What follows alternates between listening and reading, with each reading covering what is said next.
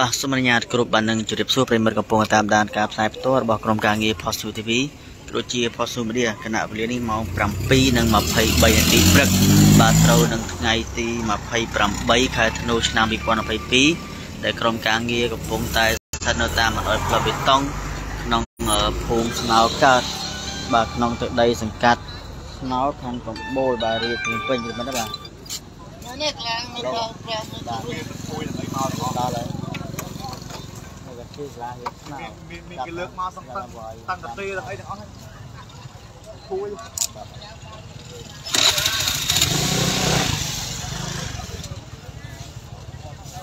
បាទគឺមុននេះបន្តិចគឺបង្កការភ្ញាក់ផ្អើលគឺប្រទះឃើញមកសពមនុស្សម្នាក់បាទគឺបានស្លាប់បាទនៅក្នុង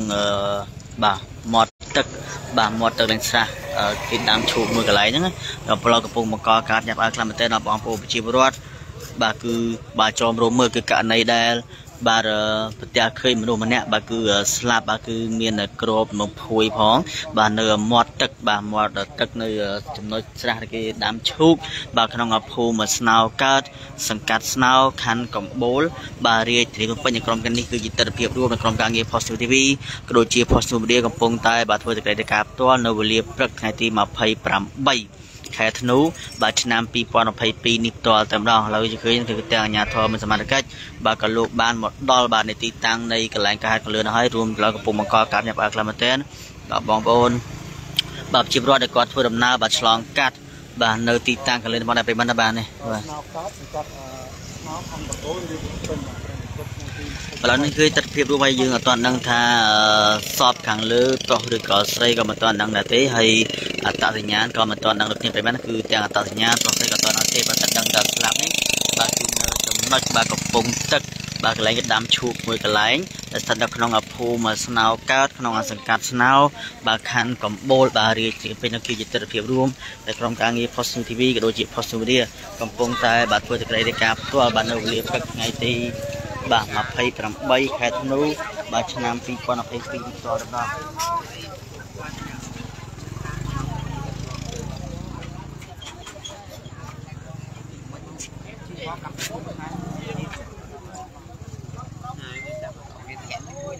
ទីរួមមក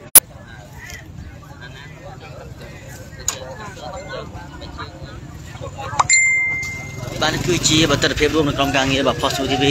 ដូចជា Post Media បាទកំពុងតែបាទធ្វើកិច្ចការផ្ទាល់ពីមែនសូមចាប់បងដែរគឺទីតាំងបាទនៃកន្លែងខេត្តខាងលើនេះបាទគឺស្ថិតនៅតាមបណ្ដោយផ្លូវបាទបេតុងនៅក្នុងភូមិបាទស្នោកើតបាទក្នុងទឹកដីសង្កាត់ស្នោខណ្ឌកំបូលបាទរាជធានីពេញគឺនេះកំពុងបង្កការញាប់ការខ្លាំងមែនទែនបាទនេះគឺជាបាទទស្សនវិជ្ជារួមនៅក្នុងការងារ Post TV ក៏ដូចជា Post Media បាទកំពុងតែបាទធ្វើកិច្ចការផ្ទាល់ហើយយើងអត់ទាន់ដឹងថាសពខាងលើនឹងមានអត្តសញ្ញាណ បាទនៅទីណាទេពេលមិនដែរបាទគឺឥឡូវនេះគឺអត់តនឹងអីក៏មិនតន់ដឹងបញ្ជាក់ថាបាទប្រុសឬក៏ស្រីដែរដោយសារតែបាទគឺសពនៅខាងក្នុងទឹកនៅឡើយគឺនៅក្បាលនៅក្នុងទឹកចំណែកជើងនៅលើគោកពេលបាទគឺក្បាលក្នុងទឹកជើងនៅលើគោកបាទហើយនេះគឺជាបទភាពរួមកំពុងបង្កការភ្ញាក់ផ្អើលខ្លាំងមែនទែនបាទនៅវេលាព្រឹកបាទថ្ងៃទី28បាទខែធ្នូបាទឆ្នាំ2022ហើយក្រោយគណៈពេលនេះគឺកម្លាំងអាជ្ញាធរមានសមត្ថកិច្ច បាទក៏លោកបានមកដល់បាទទីតាំងបាទនៃកន្លែងកាហេតុកលឿនហើយព្រានបានមកដល់ហើយឡើងកំពុងតែហុំគាត់បាទហើយក៏ដូចជាបងប្អូនជីវរដ្ឋហ្នឹងកំពុងបង្កការភ្ញាក់ផ្អើលខ្លាំងមែនទែនបាទក៏លោកបានមកដល់បាទនៃទីតាំងនៃបាទកន្លែងកាហេតុកលឿនបដាព្រានហ្នឹងបាទ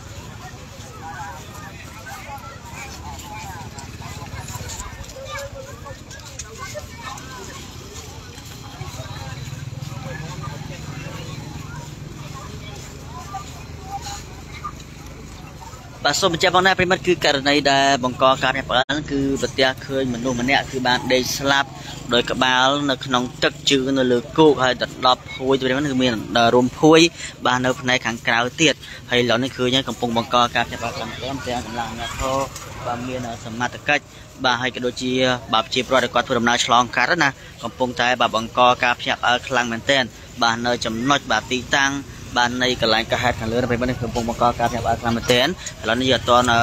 បាទមិនមិនទាន់មានអាណាម្នាក់គឺស្គាល់អត្តសញ្ញាណបាទនៃសពខាងលើនឹងនៅឡើយទេពេលនេះអត់ទាន់មានស្គាល់ទេបាទឲ្យឃើញនេះបងប្អូនជារដ្ឋគឺមកចំរោមមើលយ៉ាងច្រើនកកបាទមែនទែនដោយសារតែបង្កការញាប់អើលណាដោយសារតែសពរងគ្រោះហ្នឹងគឺគឺជើងនៅលើគោកចំណែកបាទខ្លួននឹងក្បាលនៅទឹកបាទក្នុងទឹកបាទហើយនេះគឺជាទស្សនវិជ្ជារួមនៅក្នុងការងារបាទកំពុងតែបាទធ្វើក្តីរាយការណ៍ផ្ទាល់នៅព្រឹក បាទថ្ងៃទី28បាទខែធ្នូបាទឆ្នាំ2022នេះផ្ទាល់តែម្ដងទៅធ្វើទស្សនវិជ្ជារួមបាទបាទសូមជួយបាទចែកបាទបាទរំលែកបន្តផងប្រិមិត្តបាទ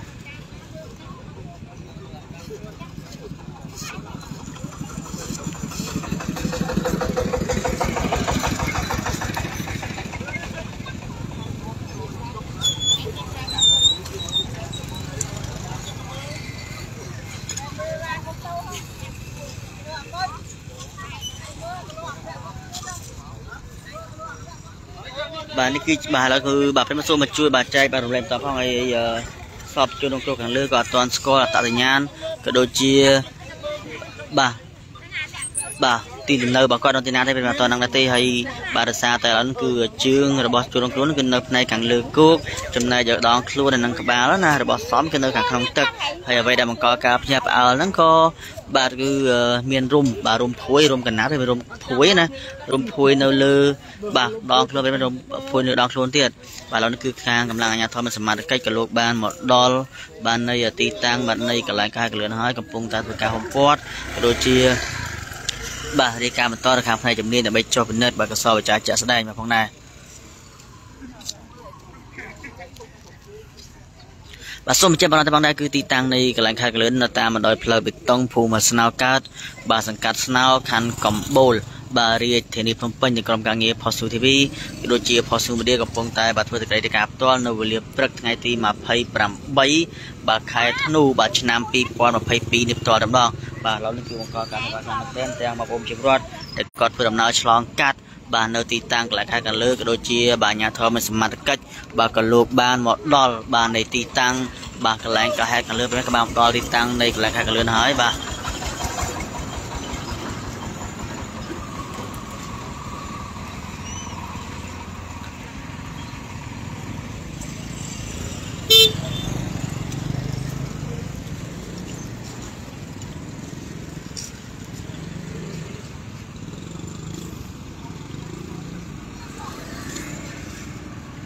បាទ អ្វីដែលគួរញាប់អត់គឺសពខាងលើហ្នឹងគឺ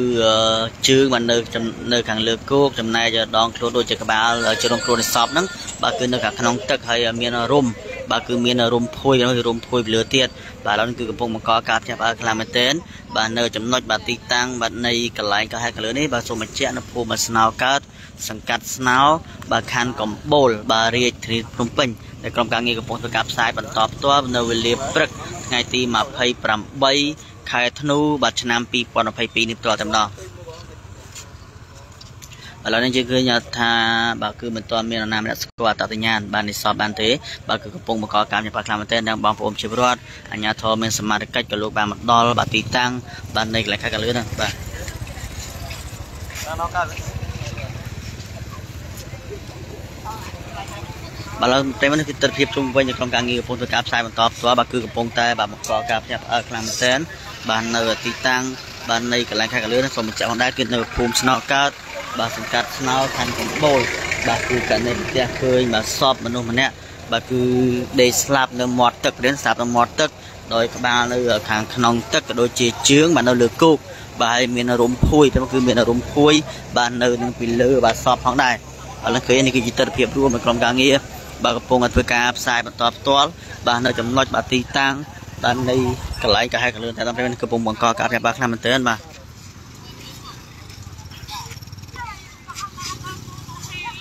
បាទសូមជួយបាទចែកបាទរំលែកបន្តបាទសូមជួយចែកបាទរំលែកបន្តផងហើយនេះគឺជាទស្សនវិជ្ជារួមដែលក្រុមការងារកំពុងតែបាទធ្វើការផ្សាយបន្តផ្ទាល់បាទនៅវេលាព្រឹកបាទថ្ងៃទី28ក្រុមការងារសូមតាខានទេអភ័យទោសមកគឺអត់បានផ្ដិតយករូបភាព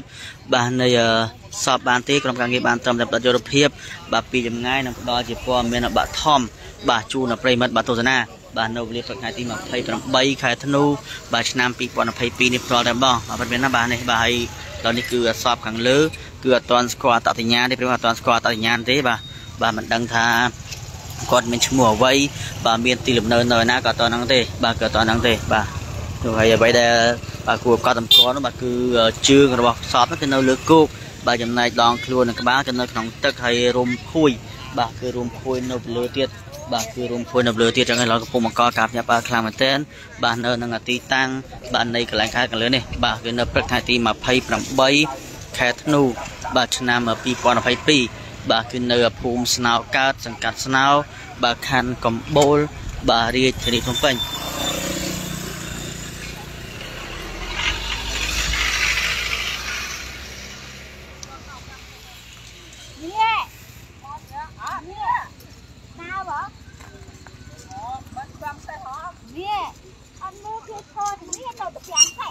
ទៅមើលអត់មានមើលទេអើយដល់ខុសអាណាទេជួយទេអីរួមពួយមកអើបាទគណៈពេលនេះគឺប្រិមត្តគឺកំពុងបង្កការភ្ញាក់ផ្អើលខ្លាំងមែនទែនណាបាទគឺកំពុងតែបង្កការភ្ញាក់ផ្អើលខ្លាំងមែនទែនបាទនៅចំណុចបាទទីតាំងបាទនៃកន្លែងខេត្តកលឿនប្រិមត្តណាបាទកំពុងបង្កការភ្ញាក់ផ្អើលខ្លាំងមែនទែនអ្នកដល់នៅឯណាអ្នកដំណើរដល់ទីទៅខាងប្រេតដល់ពេលចឹងសម្រាប់ខ្ញុំប្រាក់អា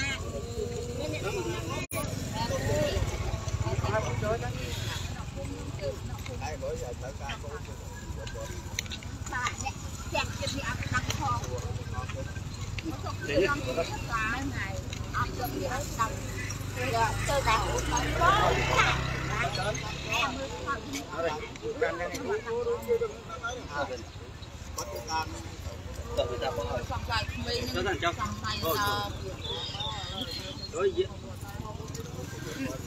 បាទមើលស្គាល់សង្ស័យក្មេងនឹងសង្ស័យថាបាទនេះគឺជាបទិភាពរួមក្នុងក្រុមការងារ Post TV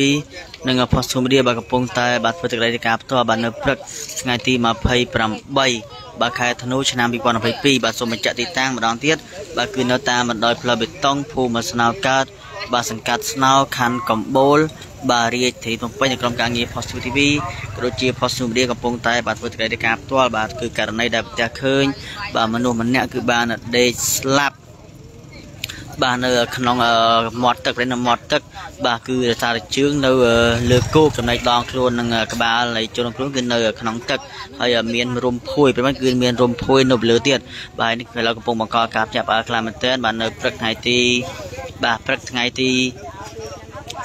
28បាទខែធ្នូបាទឆ្នាំ2022នេះផ្ទាល់តែម្ដងបាទហើយនៅតាមបណ្ដោយផ្លូវបេតុងបាទទីតាំងកន្លែងកាហាសូមបញ្ជាក់ម្ដងទៀតបាទគឺនៅតាមបណ្ដោយផ្លូវបេតុងក្នុងសង្កាត់ស្នោ បាទក្នុងភូមិស្នោកើតសង្កាត់ស្នោបាទខណ្ឌកំបូលបាទរាជធានីភ្នំពេញក្រុមការងារពលកម្មផ្សាយបន្តផ្ទាល់ជួបប្រិមត្តទស្សនាបាទនេះផ្ទាល់តែម្ដងគណៈពេលនេះគឺវេលាម៉ោងបាទ7:36នាទីព្រឹកបាទត្រូវនៅថ្ងៃទី28បាទខែធ្នូបាទឆ្នាំ2022បាទក្រុមការងារកំពុងធ្វើការផ្សាយបន្តផ្ទាល់នេះគឺជាករណីដែលមនុស្សម្នាក់គឺបានដេកស្លាប់នៅមាត់ទឹក បាទនៅមាត់ទឹកបាទ នៅមាត់ទឹកនៅ ក្នុង បាទទឹកដី បាទភូមិស្នោកើតបាទសង្កាត់ស្នោបាទខណ្ឌបាទកំបូលបាទរាជធានីភ្នំពេញផ្ទាល់តែម្ដងពេលនេះបាទគឺជាទស្សនវិជ្ជារួមនៅក្រុមការងារកំពុងធ្វើការផ្សាយបន្តផ្ទាល់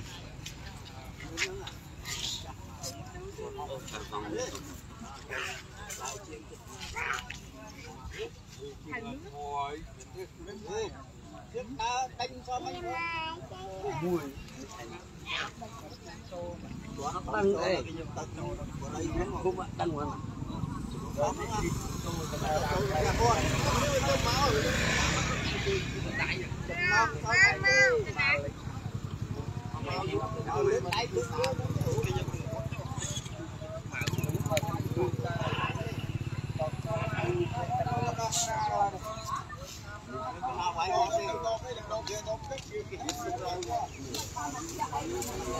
Thank you.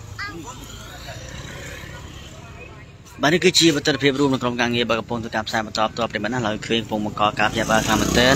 បាទនៅនឹងទីតាំងបាទនៃកន្លែងខេត្តកលឿននេះបាទគឺបាទឡើងគណៈពេលនេះគឺវត្តមានអាជ្ញាធរមានសមត្ថកិច្ចបាទក៏លោកបានមកដល់បាទទីតាំងនៃបាទកន្លែងខេត្តកលឿនហើយក៏ដូចជាលោកកំពុងបង្កការផ្ទះបាទខ្លាំងមែនទែនដល់បងប្អូនជីវរដ្ឋដែលគាត់ធ្វើដំណើរបាទឆ្លងកាត់បាទនៅជុំវិញបាទទីនៅ បាទតាមរយផ្លូវដែលទីតាំងកន្លែងកាហេតុនេះបាទឥឡូវនេះគឺសពបាទនៅកំពង់បាទនៅមាត់ទឹកឡើយនៅមាត់ទឹកនៅឡើយបាទឥឡូវគឺខាងសមត្ថកិច្ចគាត់បានការហុំព័ទ្ធបាទដើម្បីងាយស្រួលក្នុងការធ្វើការដូចជារងចាំខាងសមត្ថកិច្ចជំនាញបាទរងចាំខាងសមត្ថកិច្ចជំនាញចូលមកធ្វើកសោវិច័យបាទថាតើពាក់ព័ន្ធនឹងករណីអ្វីទើបបានជាបាទសពខាងលើនឹងស្លាប់បាទនៅមាត់ទឹកខាងលើបាទនេះបងដែរ បាទនេះគឺជាបទិភាពរួមនៅក្រុមការងារបាទកំពុងតែធ្វើការបាទផ្សាយបន្តផ្ទាល់បាទនៅវេលាព្រឹកថ្ងៃទីបាទ28បាទខែធ្នូបាទឆ្នាំ2022នេះផ្ទាល់តែម្ដងនេះឥឡូវកំពុងបង្កការភ្ញាក់ផ្អើលខ្លាំងមែនទែនបាទនៅនឹងទីតាំងបាទកន្លែងខាងលើបាទ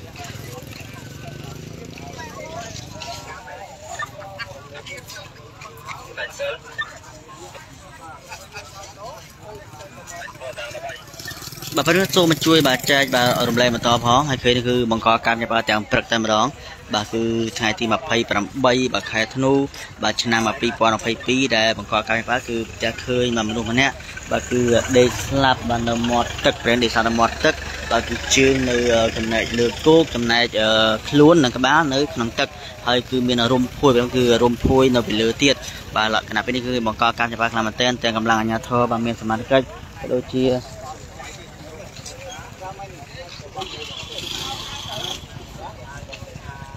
បាទគឺនៅបាទសូមបញ្ជាក់ផងដែរគឺទីតាំងកន្លែងហេតុនៅតាមរដ្ឋប្រវិតង់បាទភូមិស្នោកើតបាទក្នុងទឹកដី សង្កាត់ស្នោបាទខណ្ឌកំបូលបាទរាជធានីភ្នំពេញដែលក្រុមការងារ Post TV ក៏ដូចជា Post Studio កំពុងតែបាទធ្វើសេចក្តីរាយការណ៍ផ្ទាល់បាទឥឡូវនេះយើងឃើញថាបាទមិនទាន់ដឹងថាសាច់ញាតិ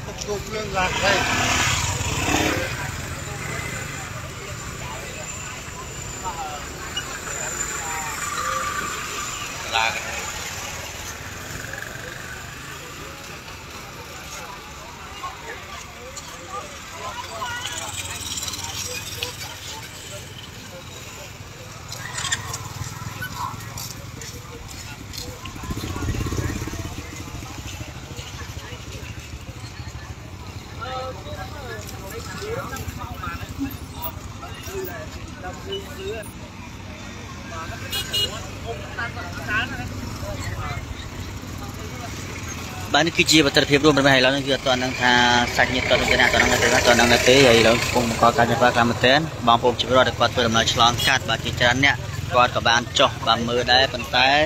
បាទប៉ុន្តែចាំទៅក្នុងណាឡើងវិញឡើងហើយរំលឹមមកមួយជាងពេលមកកុំជួយ like ជួយ share ផងចែករំលែកព័ត៌មានជូនដល់បងប្អូន បាទនេះគឺជាបទភាពរួមនៅក្នុងការងារ Post TV និង Post Media បាទកំពុងតែបាទធ្វើសេចក្តីរាយការណ៍ផ្ទាល់ប្រិមត្តអត់ទាន់ដឹងថាបាទតរិញ្ញាណបាទនៃសពបាទនៅទីណាប្រិមត្តបាទហើយឥឡូវនេះគឺអ្វីដែលសំខាន់នោះបាទគឺដងខ្លួនបាទនឹងក្បាលនៃសពនោះគឺនៅក្នុងទឹកបាទហើយចំណែកបាទ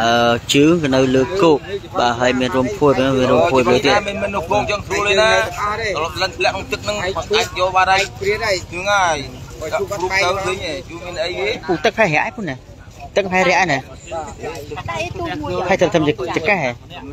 អូបាទតំណឹងបាទតំណឹងបើចាក់មួយម៉ោងក៏អត់អីទេបើនៅកំពស់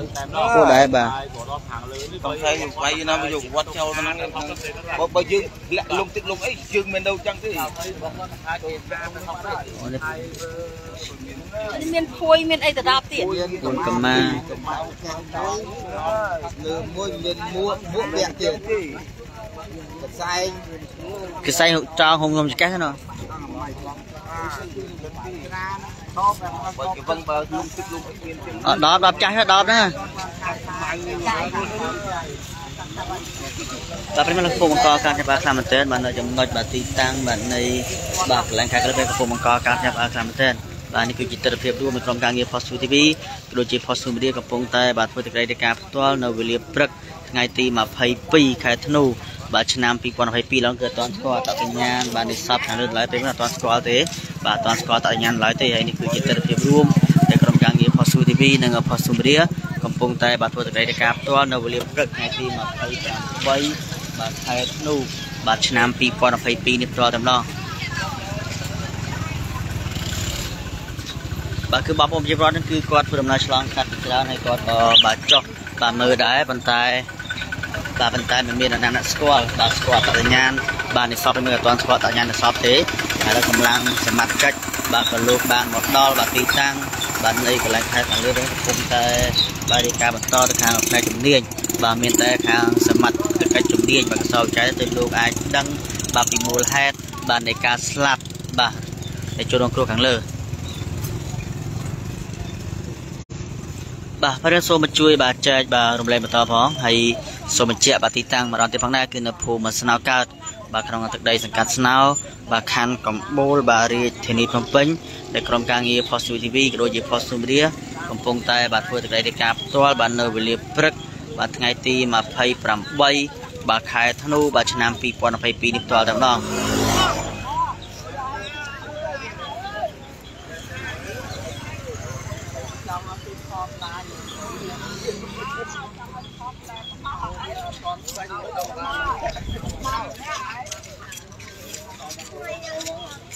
បាទព្រមឡើងកំពុងបង្កការផ្ញើផ្អើលខ្លាំងមែនទែនបាទនៅវេលាព្រឹកថ្ងៃទី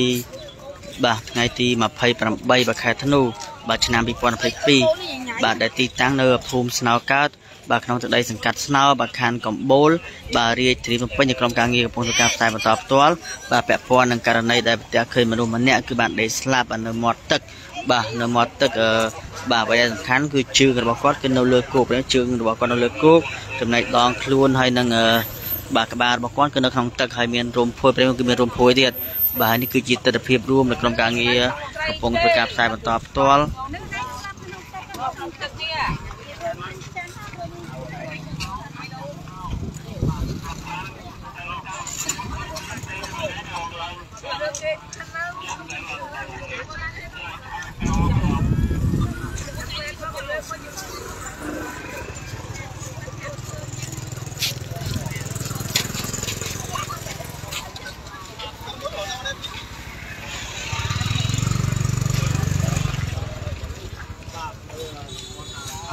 គាត់ចុះរកទីតាំង នៃកន្លែងការថាដែរហើយនៅចាំតែផ្នែកជំនាញចាក់ទុកបន្តពីផ្នែកនេះលោកចុះការបាទប្រទេសគឺបាទកំពុងតែបង្កការញាប់ផ្អើលខ្លាំងមែនទែនប្រិមិត្តកំពុងបង្កការញាប់ផ្អើលខ្លាំងមែនទែនបាទនៅចំណុចបាទទីតាំងបាទនៃកន្លែងខេត្តកលឿននេះបាទគឺកំពុងបង្កការញាប់ផ្អើលខ្លាំងមែនទែនបាទហើយឥឡូវនេះអត់ទាន់ដឹងថាតសញ្ញាណបាទរបស់ជនរងគ្រោះបាទគឺនៅទីណាមានឈ្មោះអ្វីក៏មិនទាន់ដឹងនោះទេបាទឥឡូវនេះគឺកម្លាំងសមត្ថកិច្ចបាទមូលដ្ឋាន បាទអាជ្ញាធរក៏បាទក៏បានមកដល់ទីតាំងហើយក៏ដូចជាបាទភាពរដ្ឋដែលបង្កការផ្អើក៏បានមកចោមរួមមើលហើយក៏មិនទាន់មាននរណាម្នាក់ស្គាល់បាទនៅអត្តសញ្ញាណរបស់ជនក្នុងឡើយទេពេលនេះគឺមិនទាន់មានអ្នកស្គាល់ទេបាទឃើញហើយបាទនេះគឺទស្សនវិជ្ជារួមដែលក្រុមការងារ Post TV និង Post Media កំពុងតែបាទធ្វើកិច្ចការផ្ទាល់នៅវេលាព្រឹកបាទថ្ងៃទីបាទព្រឹកថ្ងៃទី28បាទខែធ្នូបាទឆ្នាំ2022នេះផ្ទាល់តែម្ដងបាទព្រមឃើញនេះបាទ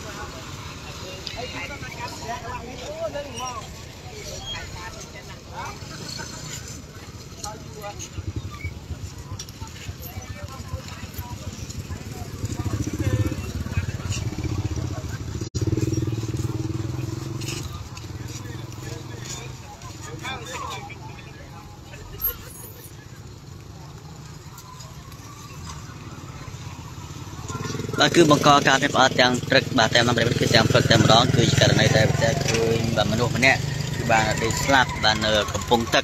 បាទនៅមាត់ទឹកណាបាទគឺជើងនៅលើគោកចំណែកបាទចំណែក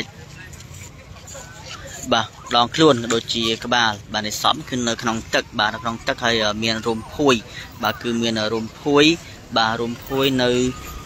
នៃលើដងខ្លួនមាននៅលើដងខ្លួនទៀត បាទគឺកំពុងបង្កការញាប់អើខ្លាំងមែនទែនបាទនៅទីតាំងបាទនៃកន្លែងខេត្តកលឺហើយអត់ទាន់ដឹងថាតតញ្ញាណបាទនៃសពបាទគាត់មានឈ្មោះអ្វីបាទមានទីលំនៅនៅទីណាក៏អត់ទាន់ដឹងដែរដោយសារតែឥឡូវនេះគឺបងប្អូនប្រជាពលរដ្ឋគឺគាត់ធ្វើដំណើរឆ្លងកាត់បាទជាច្រើនមែនទែនប៉ុន្តែបាទមិនមាននរណាម្នាក់ស្គាល់ទេបាទគាត់បានចោមរោមមើលបាទហើយបាទមិនមាននរណាម្នាក់គឺស្គាល់បាទផិនភាកបាទនៃសពនៅឡើយទេប្រិមត្តបាទ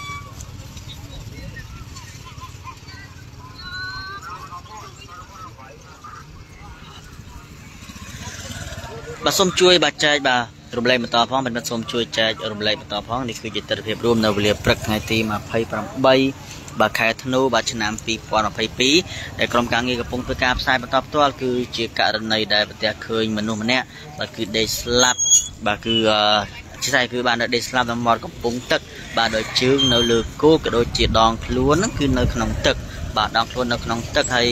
បាទឡើងគឺកំពុងបង្កការភ្ញាក់ផ្អើលខ្លាំងមែនទែន បាទនៅចំណុចបាទទីតាំងបាទនៃកន្លែងកាយកលឿនវិញកំពុងបង្កការញាប់អាខ្លាំងមែនទែនបាទហើយអត្តសញ្ញាណគឺមិនទាន់ដឹងនៅឡើយទេបាទគឺអត្តសញ្ញាណមិនទាន់ដឹងនៅឡើយទេពេលមិនបានឃើញទស្សនវិជ្ជារួមនៃក្រុមការងារបាទកំពុងធ្វើការផ្សាយបន្តផ្ទាល់បាទនៅព្រឹកថ្ងៃទី28ខែធ្នូបាទឆ្នាំ2022ផ្ទាល់ដំណោះ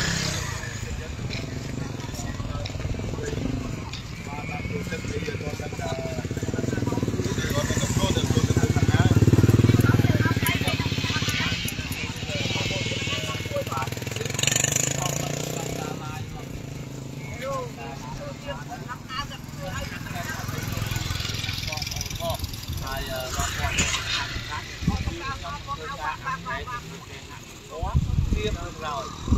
ខណៈពេលនេះខ្ញុំបានសូមក្រុមក្រុមការងារសូមមកកាយជាសូមផង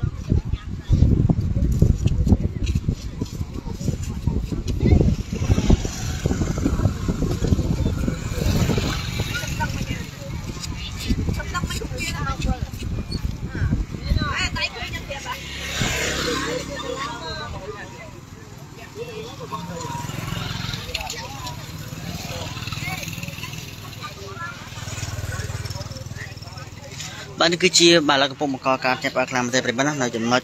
បាទទីតាំងបាទនៃកន្លែងខេត្តកលឿនសូមបញ្ជាក់ម្ដងទៀតបាទគឺនៅតាមបណ្ដោយផ្លូវបាទបេតុងក្នុងភូមិស្នោកើតសង្កាត់ស្នោ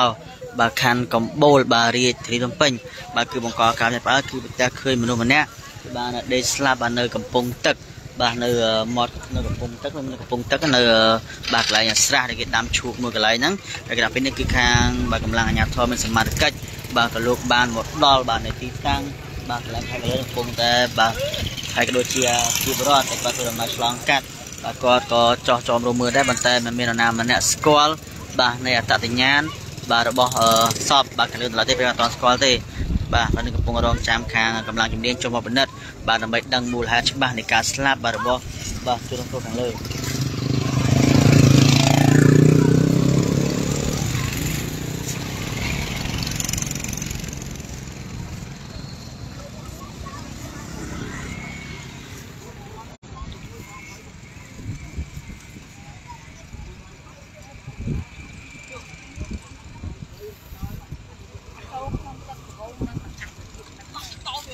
bật bậc cách phát sinh thứ như bật cách Hãy subscribe cho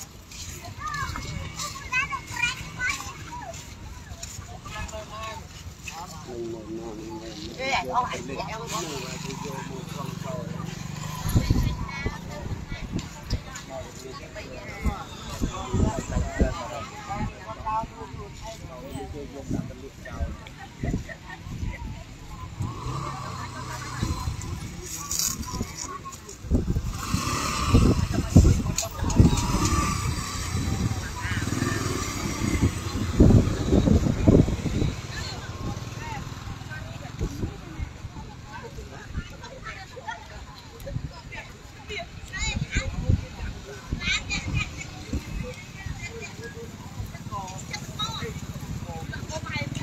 បាទអរគុណមែនទែនប្រិមត្តរកការតាមដានទស្សនាគ្រប់គ្រងរកការផ្សាយផ្ទាល់របស់ Page Post 2 TV ក៏ដូចជា Post 2 Media គណៈពេលនេះខ្ញុំបាទរវិស្នារួមទាំងក្រុមការងារសូមជូនពរប្រិមត្តឲ្យជួបតែសេចក្តីសុខបាទនិងសេចក្តីចម្រើនក្នុងការធ្វើដំណើរកំសាន្តចិត្តឆ្ងាយទាំងអស់គ្នានៅពេលនេះខ្ញុំបាទរួមទាំងក្រុមការងារក៏សូមមេត្តាខន្តីនៅអភ័យទោសនិងសូមបញ្ចប់បាននៃការ live ត្រឹមតែប៉ុណ្ណេះបាទមានព័ត៌មានអ្វីថ្មីប្លែកបន្តទៀតក្រុមការងារធ្វើការផ្សាយជូនទស្សនាជាបន្តបន្ទាប់នៅពេលនេះខ្ញុំបាទសូមអរគុណច្រើនសូមជម្រាបលា